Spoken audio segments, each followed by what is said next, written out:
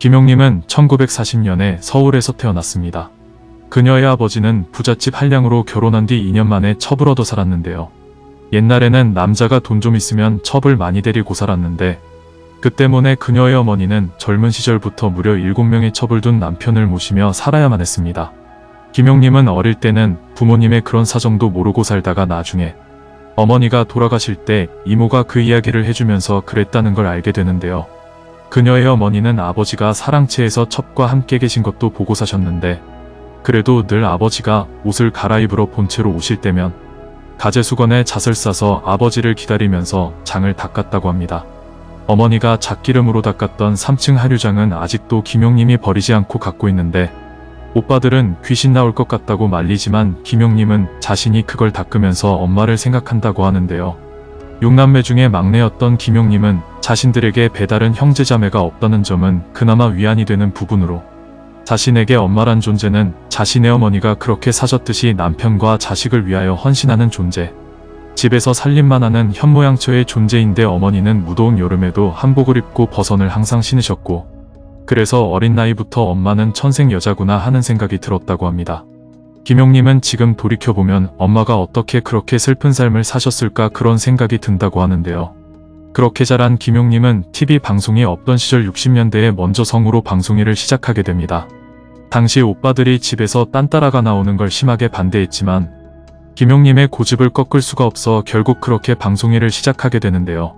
김용님은 성우 활동을 하던 중 3년 선배 성우였던 남이루를 만나며 나중에 결혼까지 하게 됩니다. 그녀는 처음 방송국에 신입 성우로 3명이 들어갔는데 처음만 해도 남이루가 자신이 아닌 다른 사람을 좋아하는 줄 알았다고 하는데요. 남이루는 당시 말이 많이 없고 등나무 밑에서 책만 읽던 남자였는데 김용님은 어느 날부터 자신의 소지품이 하나씩 없어지더니 남산에 있는 방송국에서 내려가려면 양산이 필요했는데 나미루가 자신을 챙겨주고 데려다주면서 사랑이 싹트게 됩니다. 처음에는 나미루가 김용님에게 그렇게 옆에서 계속 말을 걸고 관심을 표현했지만 사실 사내 연애를 하는 것이 결코 쉽지는 않았기 때문에 다른 사람들이 있을 때는 서로 모른 척했다고 하는데요. 당시 서로 일이 끝나면 명동에 가서 데이트를 하다가 김용님의 집이었던 도남동까지 데려다주는 식으로 그렇게 남이루가 적극적으로 구애를 하면서 결국 6년의 열애 끝에 김용님은 결혼까지 꼴이나게 됩니다. 김용님은 당시 남이루의 과묵함과 빠른 걸음걸이가 멋있어서 반했다고 하는데요. 남이루는 김용님에게 어젯밤 달을 봤냐? 난 당신을 한참 생각했다. 지금 이 시간이 멈췄으면 좋겠소. 라고 전하며 프로포즈를 했다고 합니다. 결혼 후 그녀는 남편과 부산 해운대로 신혼여행을 가게 되는데 당시에는 통금 시간이 있었기 때문에 5년 연애하는 동안에 그녀는 남편과 손만 잡았다고 합니다. 연애할 때 손만 잡았기 때문에 김용님은 신혼여행지에서 그렇게 쑥스러울 수가 없었다고 하는데요. 게다가 남이루는 싸움도 잘했는데 싸우다가 눈가에 생긴 찢어진 흉터도 남아있을 정도라고 합니다. 이후 김용님은 슬아의 일남 일녀를 낳았고 아들 남성진 역시 커서 배우가 된 데다가 아들이 배우 김지영과 결혼하게 되면서 이들 가족은 배우 가족이 되게 되는데요. 그런데 김용님은 남이루가 종갓집 장손이자 외아들이다 보니 시집살이가 만만치 않았다고 합니다. 그녀가 털어놓기를 자신은 시부모님으로부터 정신적인 시집살이를 당했는데 자신이 부잣집 막내딸이자 TV스타였기에 부엌에는 절대 못 들어오게 하셨지만 그 이상의 정신적인 스트레스를 받아서 견디지 못해 첫째 딸을 낳고 남편에게 이혼하자고 선언하게 됩니다. 그러자 남편은 일주일만 여유를 달라고 했고 그것이 지금까지 수십 년이 이어지게 된 것이라고 하는데요. 김용님은 배우로 얼굴이 알려졌기 때문에 남편과 부부싸움을 할 수가 없었고 집에서는 시부모님 때문에 싸우지 못했고 자동차 안에서는 기사 때문에 못 싸웠고 또 다방에서는 사람들이 자신들을 쳐다봐서 싸우지를 못했다고 합니다. 결국 남이루는 어머니가 김용님을 심하게 대한 날이면 아내를 붙잡고 방으로 데리고 들어가서 담벼락을 가리키면서 이게 우리 엄마다. 그러니까 여기다가 욕을 해라라고 하게 되는데요. 사실 보통 아들들은 그러기가 쉽지는 않기에 김용님은 그 말을 듣고 진심으로 감격을 했다고 합니다. 결국 그렇게 김용님은 담벼락에 대고 30분이나 욕을 했고 그렇게 하니까 속이 후련해졌다고 하는데요. 만약 그렇게 욕을 하지 않았더라면 아마 못 살았을 것인데 그렇게 30분이 지나니 그동안 담배만 피우던 남편이 이제 그만해라라고 딱 한마디 했다고 합니다. 김용님은 사실 남편이 시어머니와 자신 사이에서 분명하게 행동했고 공정하게 판단해줬다고 밝혔는데요. 아들이 그렇게 하니까 시어머니는 자빠지시며 한 번은 식칼을 놓고 죽자고까지 하셨다고 합니다. 당신에게는 아들이 최고였는데 착했던 아들이 여자를 만났기 때문에 그렇게 됐다며 원망을 했다고 하는데요.